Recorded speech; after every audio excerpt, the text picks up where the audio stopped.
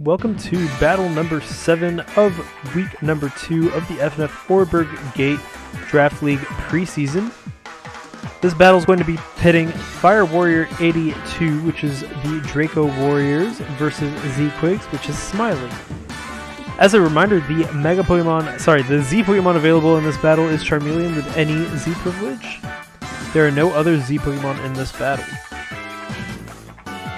This is going to be pretty interesting considering that Corsola will have some good role, uh, good utility in setting up rocks perhaps and switching out with Regenerator, being able to recover quite a few HP. The Pokemon on, on the Draco Warriors do look like they can handle Corsola to an extent, but Corsola could also hit back pretty hard and pivot out to restore any of its HP. Uh, Tangela will also be a really big force to be reckoned with, forming a nice regenerator core with Corsola and being able to deal nice damage, uh, have some utility with Sleep Powder and Leech Seed, and also just completely wall on the defensive side. It's gonna have to be hit on the physical, uh, sorry, on the special side to be taken down. Does look like Mudzill can be a pretty decent Pokemon in this, even though Corsola can threaten it as well as Tangela. It does good in the matchup versus the rest of the Pokemon on Z-Quig's team. In taking down Corsola and uh, Tangela, it looks like maybe Scraggy and Charmeleon could work together to try and get that done. But I do think that Tangela is going to be a really hard Pokemon to take down in this. Munchlax also looking like another Pokemon that can be hard to take down, especially on the spe special side. So both sides do have some Pokemon that will be pretty tough to take down, and some pretty vital Pokemon, so let's see how this plays out, and we'll begin.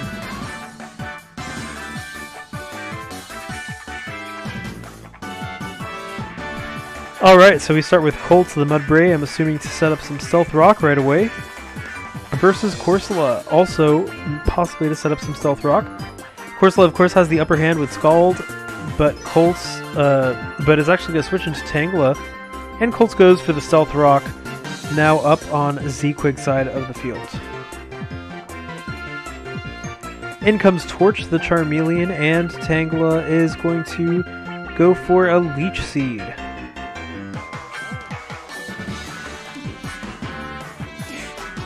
With Leech Seed, Torch is going to lose 12% HP each turn. This is a good opportunity to bring back Corsola.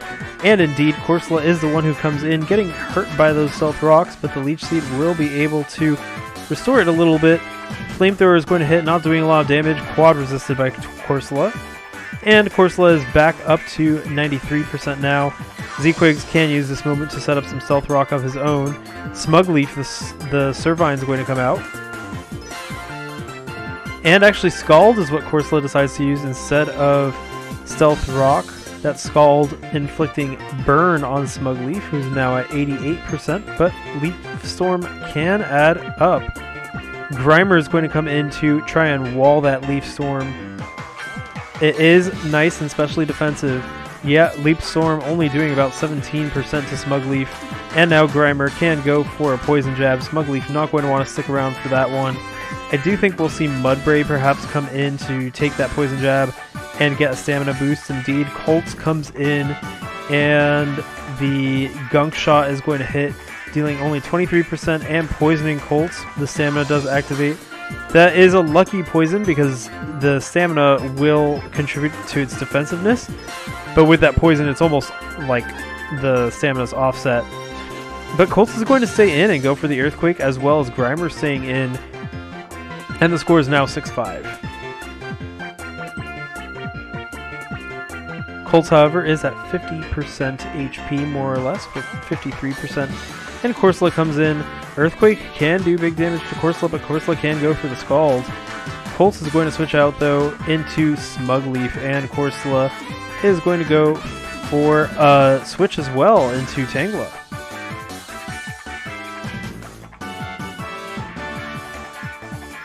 Smugleaf hurt by its burn, and Tangela now has a little bit of an upper hand.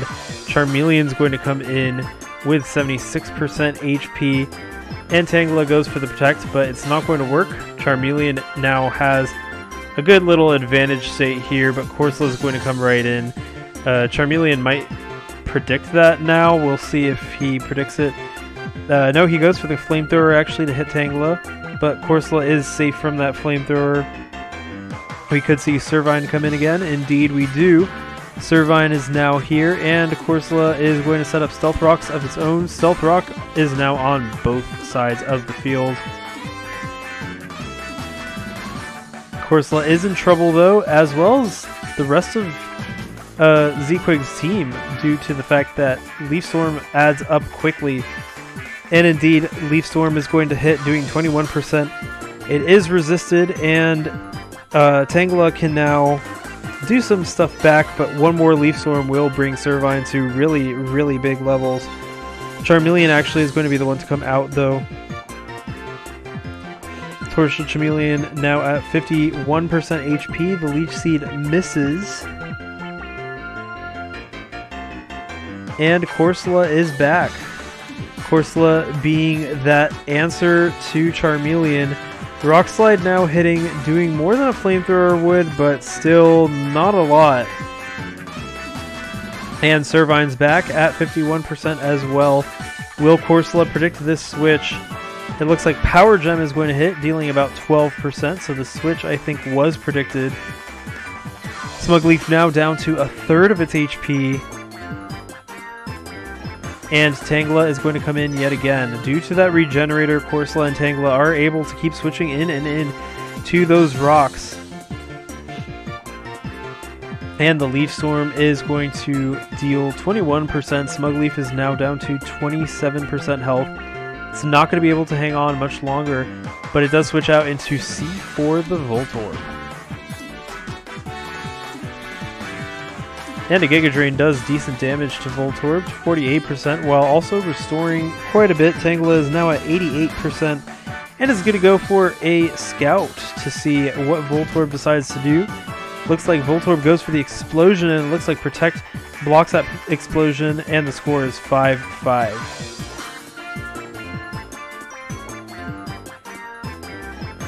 I'm not sure how much Explosion would have done, considering Voltorb's attack is pretty low and Tangela has very massive defense, but that was a good move by Z-Quig scouting out. Chowder, the Munchlax, is now out with Leech Seed on it. Um, and it goes for the Toxic on Tangela. It's definitely something Tangela does not want to be inflicted with. But it can switch in and out to reset that Toxic timer. But Charmeleon is going to be the next one to come in, down to 26% due to the rocks. And a Giga Drain, even resisted, is going to take down Torch, and it goes down. The score is now 4-5. Tangela standing strong is at 89% now. Colin with two L's is going to come in the Scraggy. And a knockoff is going to hit Tangela, removing its Eviolite. That is not good news for Tangela, as it does want to keep that Eviolite intact. Leech Seed is now up. So it looks like Tangela is toxic and has its Eviolite removed. It still does have Regenerator, so it can pivot out and regain some more HP. But Tangela is definitely not going to be the bulky Pokemon it once was with that Eviolite. However, Tangela does have Synthesis, which allows it to go back up to 82%, but that Toxic is adding up. Even with Leech Seed, Tangela is only at two thirds with the Toxic now.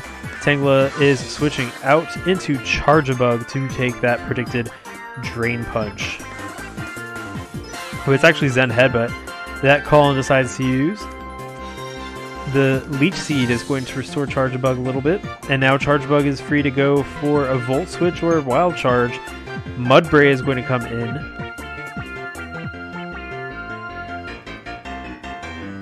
And indeed, Wild Charge is the move that Charjabug used. It's going to be blocked, but Colts is poisoned and it's regular poison, so it hits pretty hard right off the bat. Rock Slide's going to do decent damage, 27% to Bug It's now under 50% HP. And Charjabug goes for the X Scissor, bringing Colts down. Its stamina activates, but because of the poison, it doesn't seem to really matter that much. Colts is only at 2% now. Charjabug not going to want to get hit by another Rock Slide though, so Corsola is going to be the one to come in to Colts. And Colts goes for a rest. Nice. That poison is now gone, and Colts is at full HP. It will have to take some time to wake up, but uh, it's nice. It's better than uh, staying at low HP with that poison. Corsola going for the power gem, trying to predict the switch. And Trumbeak is going to be the next one to come in. Not sure what Trumbeak could really do in this scenario. Maybe going for a whirlwind, um, but it doesn't want to get hit by Rock Slide, and Colts does uh, wake up next turn. And indeed, it is awake. And a Rock Slide's going to hit Trumbeak, taking it down. I think Tangela is going to have to be the answer to Colts with Giga Drain. But Charjabug is the one to come in. And Charjabug switches to Tangela. And an Earthquake's not going to do that much damage. I'm not sure why Z-Quigs didn't send out Tangela like just to begin with instead of sending in Charge Bug. But it looks like Munchlax is going to be the one to take on Tangela instead of Mudbray. That Mudbray is so bulky, wow. Leech Seed is going to be good for Tangela, absorbing some health from that high HP Munchlax. But who knows, Munchlax could also have rest possibly. And Corsola is going to come in to Munchlax. Looks like Rock Tomb is the move that Munchlax used, reducing Corsola speed and doing a little damage. Leech Seed is going to restore Corsola quite a bit. That high HP of Munchlax being really good for that HP restoration. Scald brings Munchlax down to 29%. Does it have rest though? That's the big question. Uh, it does look like Toxic is going to inflict Corsola with some poison, so both of the regenerators on Z-Quig's team are poisoned now.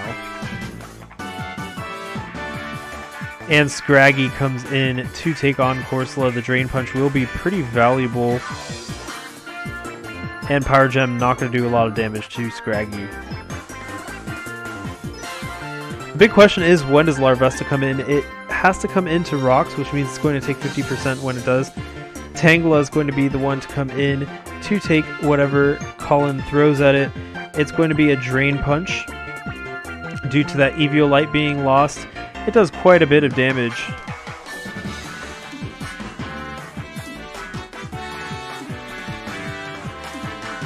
Another Drain Punch is going to bring Tangela down. With that toxic damage, it will compound, and Tangela is going to go for a Giga Drain, bringing Colin down to 52%, but that Giga Drain is not going to be able to do uh, enough, I think, to Colin to take down um, Colin. So Corsola comes in, but a Drain Punch could be very dangerous here, restoring a lot of HP and doing damage in the process.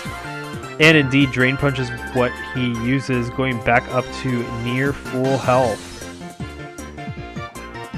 Corsola, meanwhile, at 18% due to the Toxic. And Tangela is going to come in. Tangela is uh, restoring some health with that Regenerator, but Drain Punch is doing quite a bit of damage And it looks like Drain Punch still has 11 PP, so I'm not sure if Colin, uh, sorry, if Z-Quigs is going to try to uh, stall out this Drain Punch. Zen Headbutt, though, doing some damage. Will it flinch? Tangela does not flinch and instead goes for the Synthesis.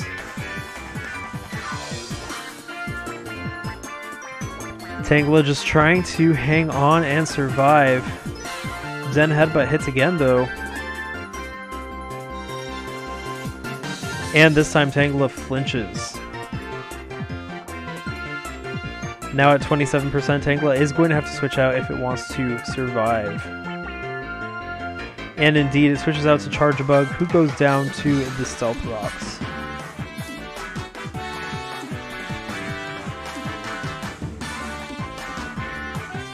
Looks like Scraggy is giving Z-Quigs a lot of trouble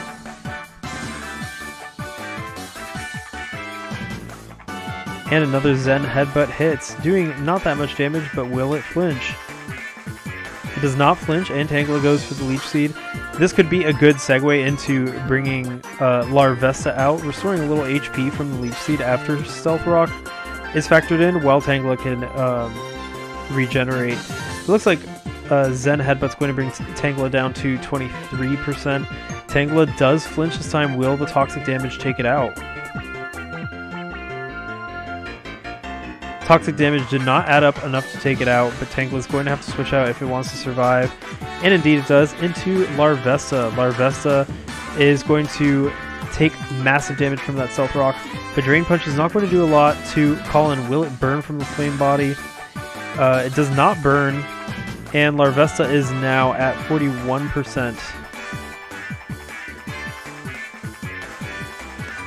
And that is uh, Colin's cue to switch out, and in comes Mudbray at 84%.